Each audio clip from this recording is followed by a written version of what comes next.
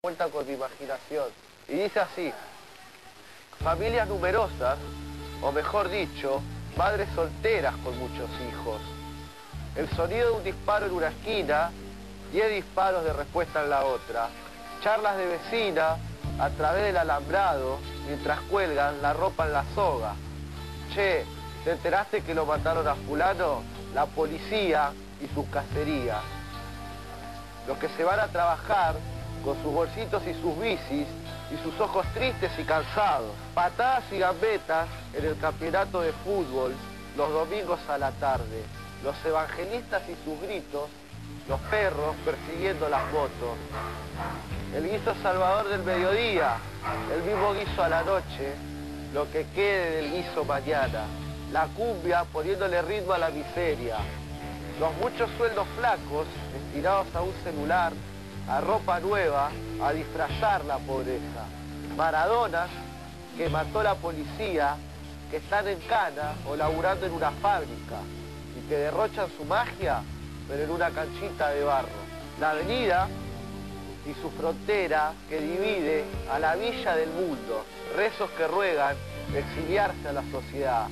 Las velas derritiéndose en los mini santuarios con las fotos de los pibes que murieron a manos de las balas, paredes que recuerdan sus hazañas, panorama de vida que siempre tiene olor a celda, a plomo, a trabajo negro o gris o a traje descargado de limpieza. Es la villa, es otro mundo, es vivir apartado.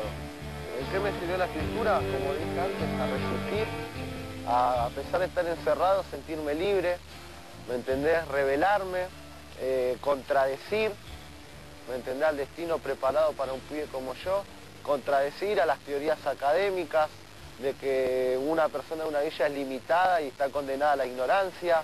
Sobrevivo en el afuera, porque ahora estoy afuera y, y la vida sigue y hay que remarla, hay que remarla día a día. Eh, y, y mis remos, mis remos son la poesía.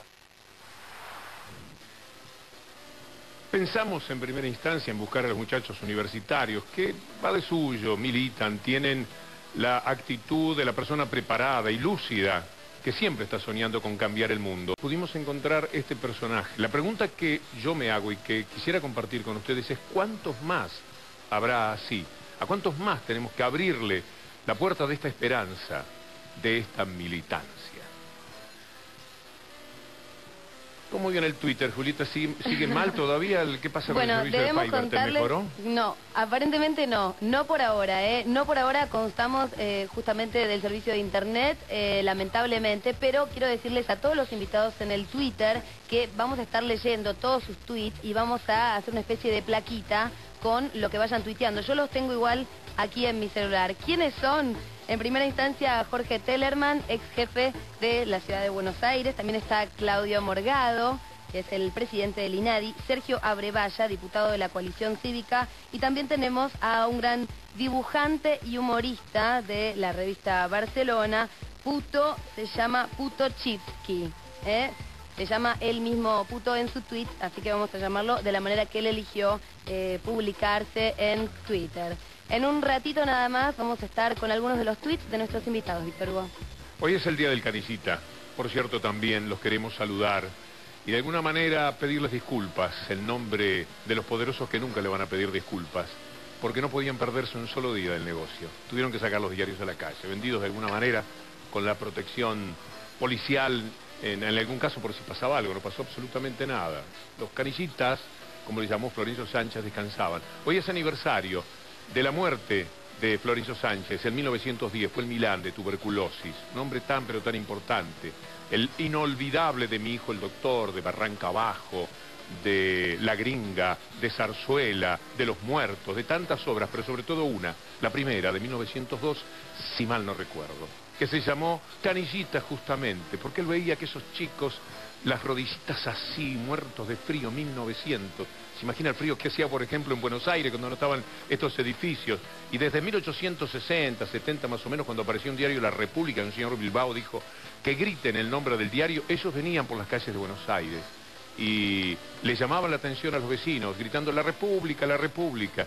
Los vio Florencio Sánchez y dijo, aquí hay una historia. ¿Saben quién fue el primer chiquilín que representó la historia en Buenos Aires? Blanca Podestá. Mira cómo se dan las cosas, ¿eh? porque los chicos no trabajaban en teatro en aquel momento, entonces la gran Blanca Podestá hizo de canillita. Los saludamos, a lo mejor los tenemos en línea, un poco para pedirle disculpas también por lo que ocurrió hoy. Nos vamos a ir a la pausa, pensando el país. Le pedimos alguien que tanto admiro y respeto como Luis Brandoni, que nos dijera algunas ideas de lo que quisiera para mejorarnos como sociedad. Y ya volvemos. He llegado a la conclusión